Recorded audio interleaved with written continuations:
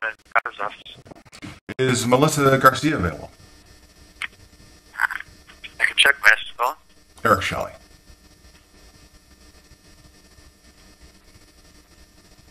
And what's the call regarding?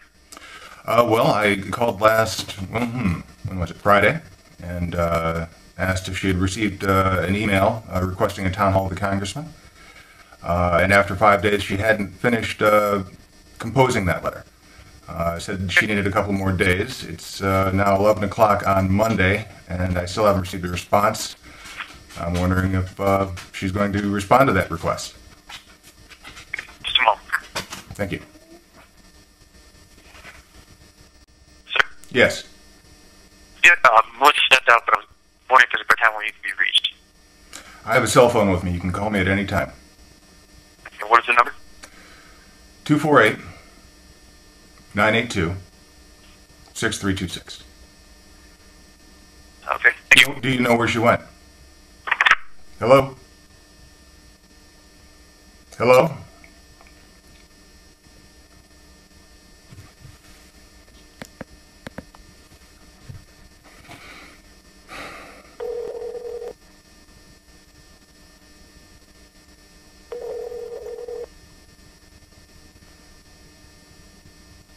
Representative McCotter's office. Yes, uh, this is Erik Shelley. I believe I was cut off. Oh, okay, do you know who you were speaking to? Uh, I was trying to talk to uh, Miss Garcia, but I was told she was out of town. Or she left the office. Trying to talk to I'm sorry, I, can't, I couldn't hear you. Uh, Melissa Garcia. Oh, okay. Um, and what was this in regards to? Uh, a letter that I sent, but she's she's not in the office, so.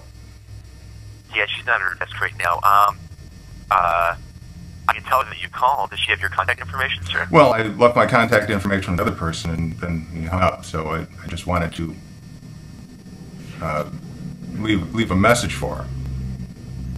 Okay, sure, go ahead. Okay, here's the message. Uh, I've, I've begun a fast until I meet with my congressman. Do you understand? Yes, sir. Okay, I'm not going to eat until I meet with him. Okay, I understand, sir. So it's very important that I meet with them so that I can eat again. I understand. If you pass that along to Ms. Garcia, I would appreciate it. I certainly will, sir. Have a great day. Thank you. Bye.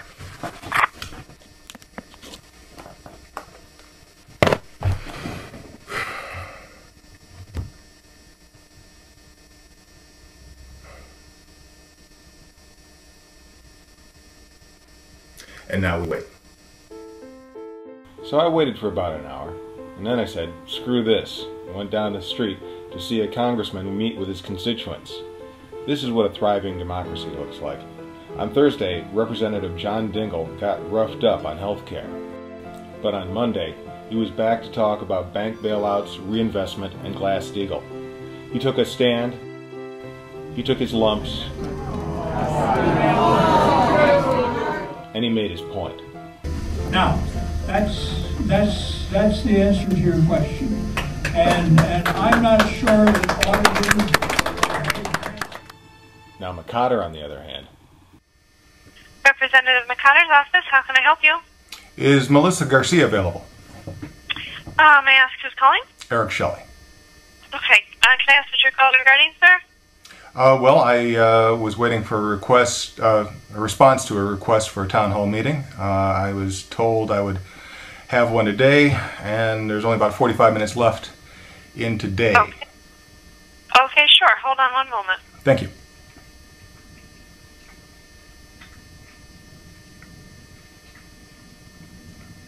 Hi, Erik. Yes.